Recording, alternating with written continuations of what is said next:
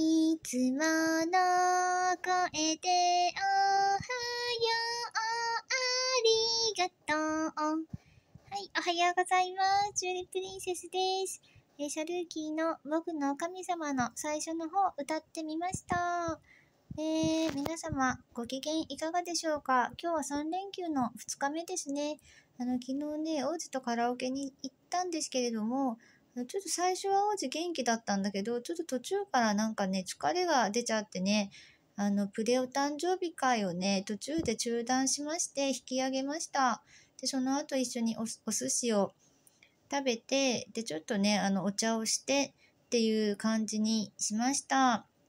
なのでね、ちょっとあの、心配なんですけれども、あの、今なんか起きてきた気配がしたんですけれどもね、大丈夫かな？今日は元気になってるといいなと思うんですけれども、まあまたね、あの、もし、あの、しんどかったら私は一人でお出かけしようかなっていうふうに思っています。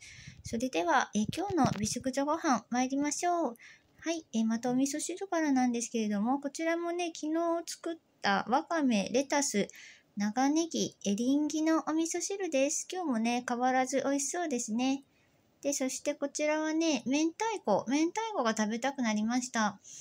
あのー冷凍の明太子で、第一宅配ですね。確か第一宅配で買った、なんか冷凍でね、小分けになってるんですね。3個パックで。で、それをね、買って、あの、昨日の、昨日から冷蔵庫に移して解凍しました。明太子、ご飯につけていただきたいと思います。そして、小梅干しですね。小梅干しが2つ。あ、これも第一ですね。で、こちらは、えっ、と、ご飯なんですけれども、えーこちらにね、あの、健康くんっていう納豆をね、かけて食べようかなって思っています。あの、多分、オイシックスの健康くん納豆に、えっとね、黒すりごまをやっぱりね、入れちゃおうかなって思っています。納豆と明太子も美味しいかな。ね、明太納豆もいいかもしれないですね。で、こちらはね、えっと、豆乳グルトですね。豆乳グルトに、あの、ストロベリーの有機いちごをね、混ぜ込んでたんですけれども、そちらのちょっと余ったところにですね、あの、オーガニックの有機バナナを、あの、カットして入れまして、ね、美味しそう。もうストロベリー、えっ、と、ストロベリーバナナヨーグルト。なんかね、シズラーでね、ストロベリーバナナヨーグルトっていうのがあって、すごい美味しかったんですね。なのでね、それからインスパイアを得まして、あの、バナナとイチゴで、バナナイチゴ豆乳グルトにしてみました。すごい楽しみです。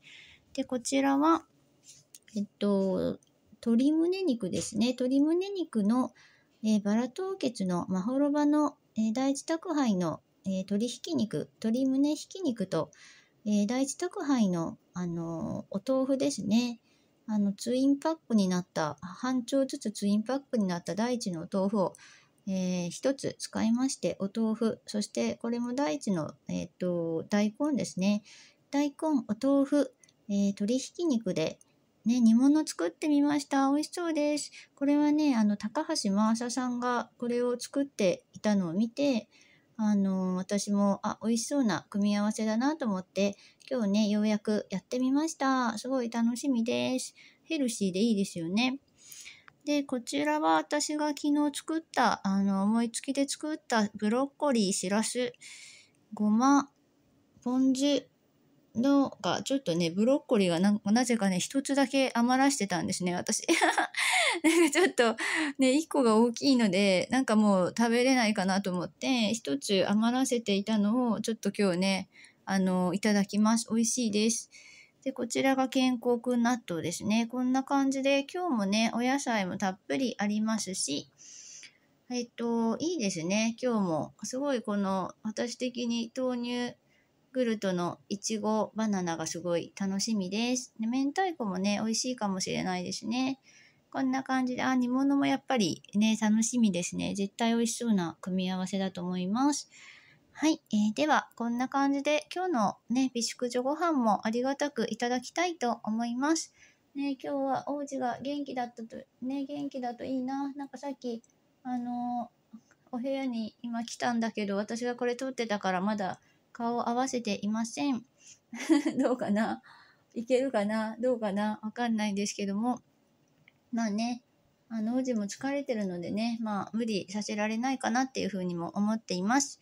えそれでは、えー、3連休、皆さん楽しんでください。今日も明るく、楽しく、麗しく、美食女で参りましょう。はい、チューリップリンセスでした。またね。Have a nice day.